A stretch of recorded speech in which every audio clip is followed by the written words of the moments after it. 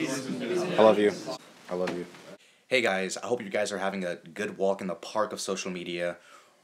I am about to head to school. I have things that I expect to happen that are scheduled, but I know from experience that what is unscheduled usually becomes the main event.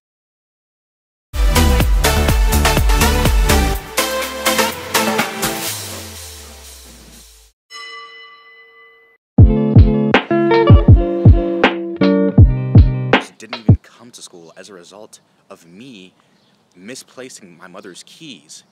And I became so afraid because I really didn't want my mother to become upset with me because I lost her keys and now there would be just be a domino effect of unwanted results.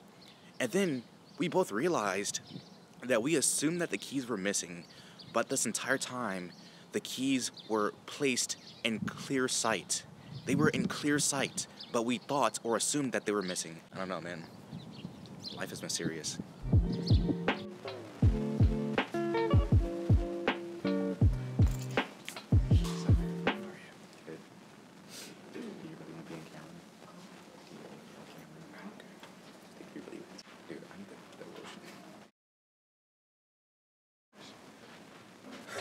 Look at your hands. They're great. Oh, what's this? What's this? Look, look at my look at my man's hands. Oh. Just like I didn't realize the keys this morning, I didn't realize that people would notice the ash that's on my hand. Therefore, I didn't feel that it was necessary for me to put on lotion. Guys, if you walked outside, would you assume that people wouldn't see that? I, I wouldn't. You I wouldn't think, so. but but man, I'm telling you.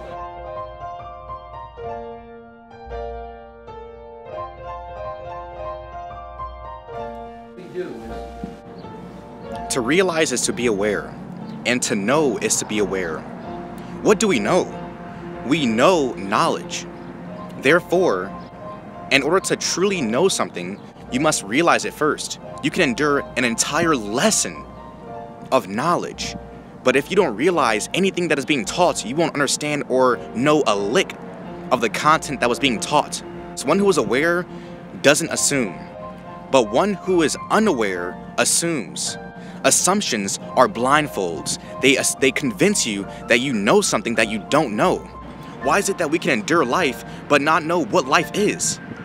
Because you are assuming, making the assumptions in regards to what life is. As a result, you're being blindfolded by life. When we sleep and rest at night, we assume that we are in real life. But in reality, we are dreaming. That's why we never become aware when we're sleeping unless you become conscious. I lead with my mind. I see things with my mind because my mind shows me things that my eyes are unable to show me.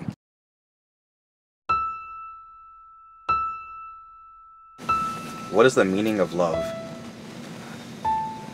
There is nothing more important than love. That's the sole reason why we are here to love and to be loved. the time. When you put a plant into the ground, so you expect something from that plant. And we believe that the plants are our children.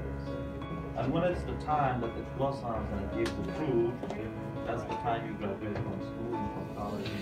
You have to give your fruit to your parents.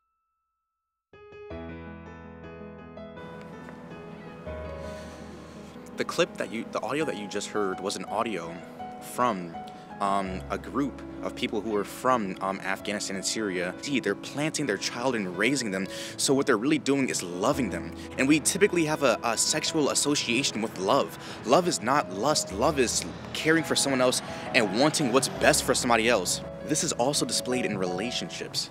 When one enters a relationship, one is expected to love someone else.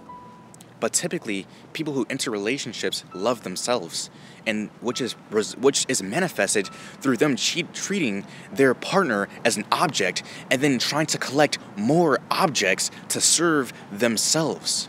That's not really love. That's self-love, and that's hatred towards others. Do you love me? Love is when you want the best for somebody else. Do you want the best for me? So, do you love me?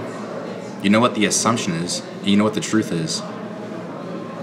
Why is it hard to accept? Is your answer an assumption that's hiding the truth? if you want to hear more of this every single day, this positive energy and these realizations, mind my videos and subscribe. I love you. If you hate me, I love you. If you love me, I love you. See you then.